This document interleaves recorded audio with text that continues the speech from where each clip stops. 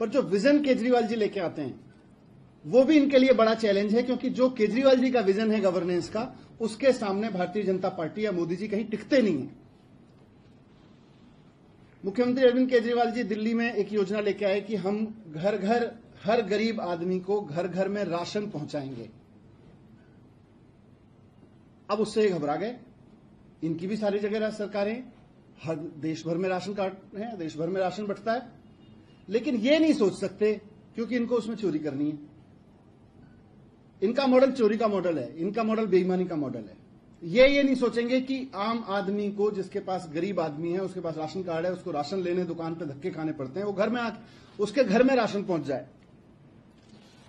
तो अब ये इसमें अड़ंगे लगाने लगे, इन्होंने सोचा इसको रोक दिया जाए।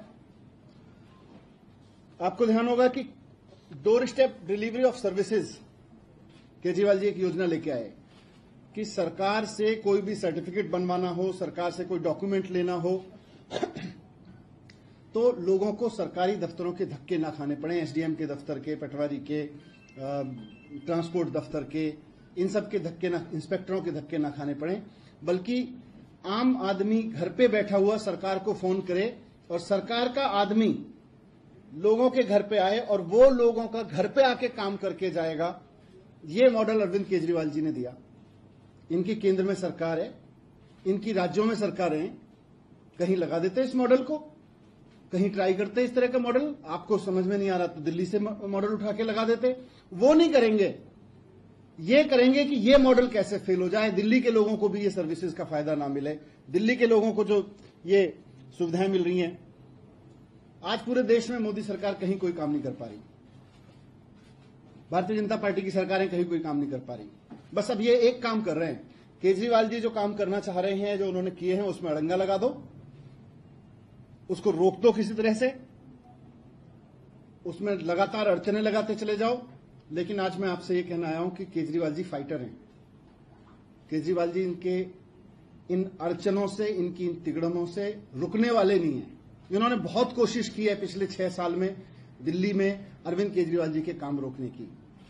हर तरह से कोशिश की लेकिन आज तक रोक नहीं पाए। जितना ज़ोर से इन्होंने रोकने की कोशिश की उतना ज़ोर से उन्होंने फाइट बैक किया और आज दिल्ली में आप सब देख रहे हैं कि कितने ज़बरदस्त काम हुए हैं। इनकी तमाम अड़चनों के बाद, बाद हुए हैं। जब छह साल में इतने तमाम अड़चनों के बाद इतने काम हो गए तो काम तो नहीं रुकेंगे दिल्ली में। ये उनका कमिटमेंट है। काम तो नहीं रुकने देंगे। फाइट चाहे जितने ज़ोर से करनी पड़े। लेकिन यह भी मुझे जो मूल रूप से बात रखनी है कि आज पूरे देश में इस बात पर चर्चा हो रही है कि मोदी जी का विकल्प कौन है? मोदी जी का मॉडल तो फेल होता जा रहा है। मोदी जी का विकल्प, मोदी जी का विकल्प ढूँढने लगे हैं अब लोग। और कहीं ना कहीं ये बात होने लगी है, भाई, मोदी जी के मुकाबले में अरविंद केजरीवाल जी बेहतर लीडर हो सकते हैं देश के लिए। उनका गवर्नेंस का मॉडल देश के लिए बेहतर गवर्नेंस मॉडल हो सकता है। और अगर अरविंद केजरीवाल जी इसी तरह से काम करते रहे तो धीरे धीरे एक दिन वो देश के ऐसे लोकप्रिय नेता बन जाएँगे जिनके बारे में लोग कहते हैं, भाई ये तो काम करता है। ये जो कहता है वो करके दिखाता है, जुमला नहीं बोलता। ये मैनिफेस्टो में कुछ और लिखे और बात कुछ और करे, ऐसे नहीं करते। ये टोकनिज्म नहीं करते कि जी चार लोगों को फ्री बिजली का फ़ायदा दे दिया और उसके बाद में सब इधर इधर हो गई बात। अगर दिल्ली में बिजली फ्री ऐलान करते हैं तो दो तिहाई आबादी के घर बिजली के बिल ज़ीरो आते हैं। ये बात लोग समझ रहे हैं। अगर महिलाओं के लिए बस फ्री है तो फिर सबके लिए महिलाओं के लिए बस फ्री है। कि टोकनिज्म में नहीं है कि इस सेगमेंट के लिए, उस सेगमेंट के लिए अमीर, गरीब, हर महिला के लिए बस फ्री है। तो मैं कह रहा हूँ कि इनकी नींद हराम हो गई है इस वजह से, और अच्छे कामों को रोकने के लिए आज मोदी जी नेगेटिव राजनीति कर रहे हैं। मोदी जी को आज देश की तरक्की रोकने के लिए काम करने पड़ रहे हैं, क्योंकि वो केजरीवाल जी से घबरा गए हैं।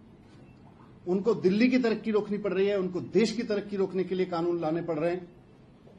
वो तो देश के प्रधानमंत्री हैं, वो तो कहीं भी अच्छा काम कर सकते हैं। उनके पास तो स्पेस ही स्पेस है। पर वो अच्छे काम नहीं करेंगे। प्रधानमंत्री का ओहदा प्रधानमंत्री का पद एक तरह से देश में पिता के समान होता है।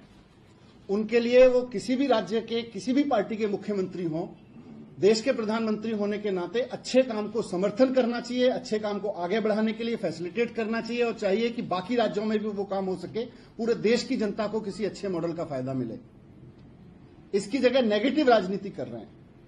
मैं मोदी जी को कहना चाहता हूँ, मोदी जी, लकीर खींचने के लिए हिंदुस्तान में एक बड़ी अच्छी कहावत है कि लकीर को मिटाया नहीं जाता, लकीर को छोटा करने के लिए उसके सामने बड़ी लकीर खींची जाती है। आप लकीर को मिटाने की कोशिश कर रहे हैं, ये मत करिए। ये अच्छी राजनीति नहीं है नेगेटिव राजनीति और ये आपको शोभा नहीं देता है। धन्यवाद।